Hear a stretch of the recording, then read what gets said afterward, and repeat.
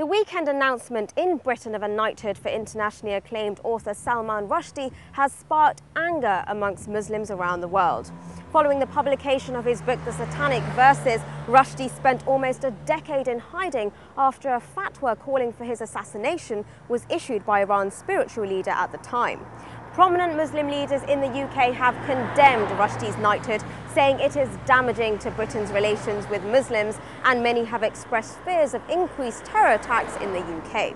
One religious leader I spoke to earlier said that while Muslims were being called to prayer, the call to kill Salman Rushdie could be reinstated.